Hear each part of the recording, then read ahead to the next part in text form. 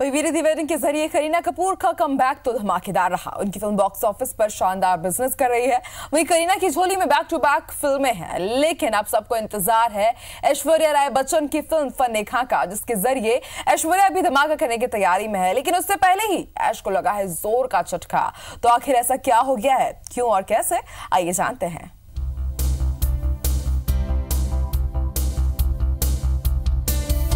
ऐश्वर्या रॉय बच्चन ने हाल ही में कांस film festival में अपनी अदाओं का जलवा चलाया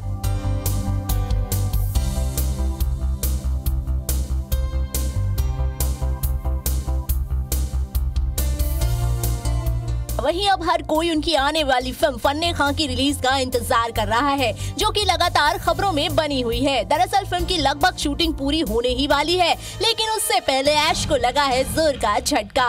खबरों की माने तो ऐश्वर्या को फ़िल्म की शूटिंग पूरी होने से पहले ही आधी फ़ीस वापस करनी होगी। जी हाँ खबर है कि ऐश को अपनी फ़ीस में कटौती करने के लिए कहा गया है। ऐसा नहीं है कि ऐश ने कोई गलती की हो। दरअसल मामला तो निर्माता निर्देशकों के बीच फंस गया है।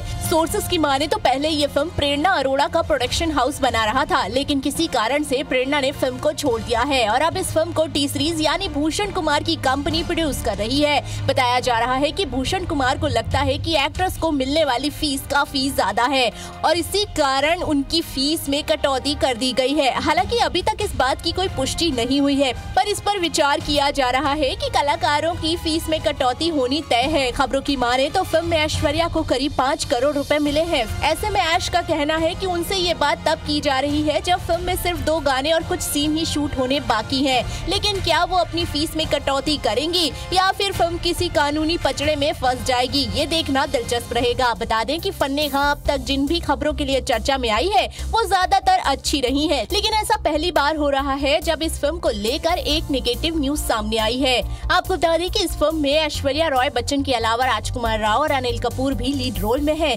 और ये फ़िल्म ऐश्वर्या के लिए काफ़ी खास है, क्यूँकी इस फ़िल्म के ज़रिए ऐश्वर्या एक बार फिर कम करने जा रही है। ए दिल है मुश्किल के बाद ऐश्वर्या फन्ने खां में नज़र आने वाली है। ज़ाहिर सी बात है, वीरे दी वेडिंग के बाद करीना का कम तो धमाकेदार रहा। अब बारी ऐश की है, जो अपनी एक्टिंग और खूबसूरती से एक बार फिर अपना जादू चलाने की कोशिश करेंगी। Bureau report I B C twenty